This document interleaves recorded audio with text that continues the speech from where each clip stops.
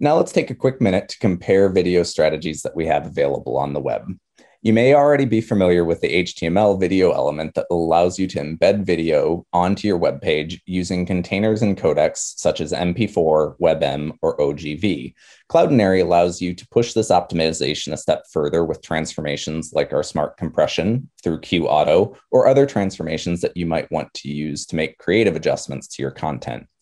The main drawback of this approach to video, however, is that lengthy videos can take a longer time to buffer and become available to playback for your users. To get around this, you might consider streaming video. Streaming video is provided in chunks. This can help you avoid bandwidth consumption if your users happen to bounce before the entire video has played back and downloaded to the browser. However, this is often unnecessary for short duration videos because the total size of an individual chunk is larger than the entire video itself.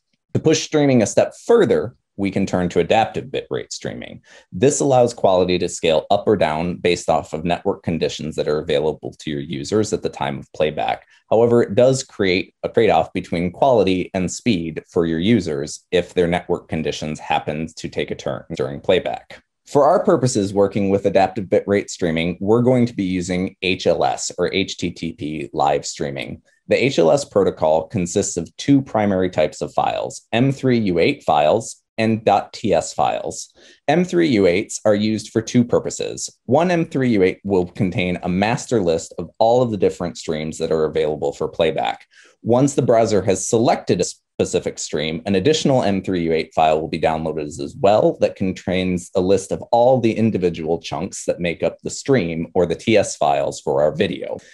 ABR or advanced bitrate gives the browser the ability to request different bit rates for different network conditions or bandwidths. Profiles are composed of chunks of video, and each video is given at a specific resolution or height and width measurement. In order to make use of adaptive bitrate, we're going to need to install a more robust video player than what's available in the video HTML element. If your needs are simple, you will be able to use the HTML element to do things like show and hide controls, control autoplay conditions, automatically loop and mute video, and show an initial poster.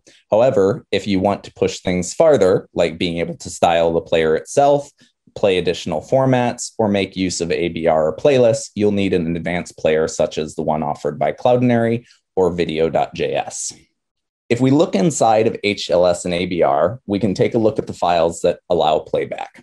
We'll start with the M3U8 manifest file. If we look at this file, you'll notice that each resolution listed inside the file corresponds to a specific streaming profile that we've created. Those resolutions each contain their own M3U8 playlist. Inside of this playlist, we have the individual binary representations or chunks that make up our file. As the browser plays back video, you may see it make changes to which stream it plays to the user based off of the conditions that are available. Typically, a browser will start with a mid level stream. However, if the buffer fills quickly and network conditions allow, it may choose to upscale to a higher resolution. This could also happen if the end user themselves specifically requests a resolution through the video player that you've integrated. However, this could lead to buffering if their network conditions aren't able to keep up with the quality that they've requested, and they may then drop back to a lower quality stream in order to smooth out playback we can actually see the behavior of these files if we look in our browser's network console. If you look at this example that was taken during page load, you can see the network panel has downloaded three files, two M3U8 files and one TS. The first M3U8 is our master playlist file that contains all of the resolutions available for this video. Second, we've selected a particular resolution that we're going to use for our initial start point for playback. The browser has also downloaded the first TS file, so the first first chunk of video is available for playback the moment the user hits their play button. Once playback has started, behavior will vary based off of network conditions. At higher speeds, you'll see larger TS files that typically download very quickly to the browser's buffer as the video plays back. The video might even finish downloading before playback has finalized.